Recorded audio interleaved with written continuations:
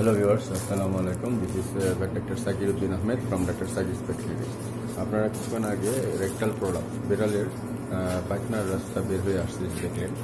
এটা সাধারণত বিভিন্ন কারণে হয়ে থাকে। এর মধ্যে একটা মেজর কারণ হলো কৃমি কৃমি দমন টাইমলি না করা।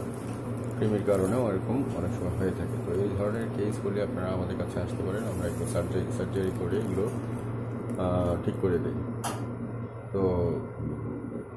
বেড়াটিকে ম্যারেজিসে দেওয়া হয়েছে। এখন আমরা এই রেকটাল প্রোলাপসটাকে ভেতরে ঢুকিয়ে আমরা সিলি করে দিব এবং আশা করি দশ বারো দিনের মধ্যে সে ভালো হয়ে যাবে। তো ভিউয়ার্স আমাদের ভিডিওটি ভালো লাগলে লাইক বাটনে ক্লিক করবেন এবং সাবস্ক্রাইব করে আমাদের সাথেই থাকবেন। ধন্যবাদ সবাইকে। হুম?